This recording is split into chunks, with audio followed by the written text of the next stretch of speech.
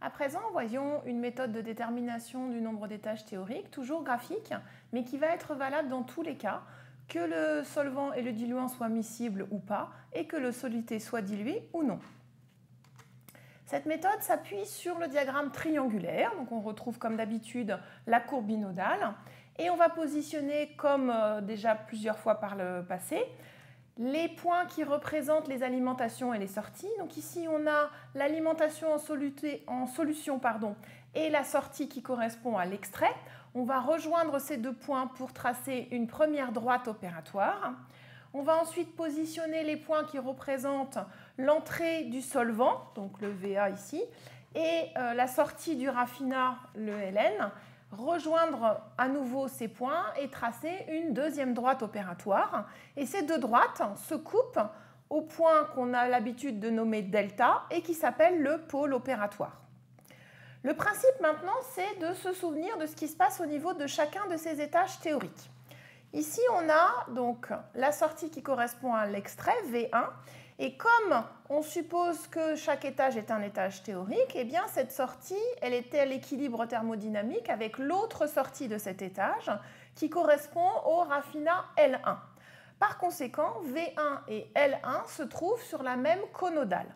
À partir du moment où on sait où est positionné le point V1, eh bien on va chercher sur le diagramme la conodale correspondante. Alors je ne les ai pas toutes affichées parce que ça serait devenu vite illisible. Donc supposons que cette conodale, elle soit positionnée comme ceci et que donc on puisse déterminer de cette manière le point L1.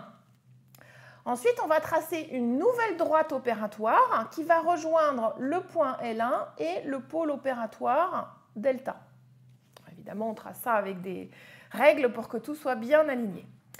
Alors, comme on est euh, donc euh, au niveau d'une droite opératoire, eh bien, on est sur des flux qui se trouvent au même niveau dans la colonne. Donc en fait, le L1 qu'on vient de déterminer, eh avec ce tracé de droite opératoire, on va déterminer un V2 qui se trouve ici, à l'intersection entre la droite opératoire que je viens de tracer et la courbe binodale, évidemment, côté des extraits. Et ensuite, de la même manière, on va répéter l'opération plusieurs fois. On va chercher une conodale qui passe par V2. Et on sait que grâce à cette conodale qui passe par V2, ben, on va trouver le point L2. Alors, on va supposer que cette conodale, admettons que ce soit celle-ci. Et donc, côté des extraits sur la courbe binodale, on trouve le point L2. À nouveau, on va tracer une droite opératoire qui va relier L2 et le pôle opératoire delta, ce qui va nous permettre d'avoir une intersection ici côté euh, extrait avec la courbe binodale qui va nous permettre de déterminer euh, l'extrait numéro V3. Alors ici, j'ai fait un tracé un peu grossier, hein, mais on va répéter cette opération autant de fois que nécessaire pour que l'on dépasse l'objectif qui est euh, la position de ce Ln qui correspond en fait au titre que l'on souhaite, le titre maximum au niveau du raffinat. Donc à nouveau avec ce V3, ben, on va chercher la conodale correspondante.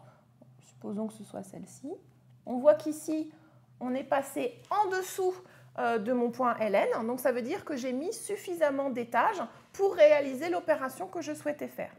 Et ensuite, pour déterminer le nombre d'étages que je vais avoir dans ma colonne, le nombre d'étages nécessaires pour obtenir cet objectif euh, au niveau du raffinat, eh bien, je vais simplement compter le nombre de conodales. Donc j'en avais une ici, une deuxième ici, et puis, vous voyez qu'avec la deuxième, je n'avais pas atteint suffisamment, j'étais sur L2, je n'étais pas encore arrivé à l'objectif que je m'étais fixé. Donc, il m'a fallu cette troisième euh, conodale, en fait, ce troisième étage théorique, pour obtenir euh, ce que je souhaitais. Donc, sur cet exemple, eh bien, le nombre d'étages théoriques, il serait égal à 3. Alors, l'avantage de cette construction, c'est donc qu'elle est valable euh, dans toutes les situations. Par contre, vous verrez notamment à l'occasion des exercices qu'elle présente l'inconvénient d'être relativement imprécise, en particulier lorsqu'il y a beaucoup d'étages dans la colonne.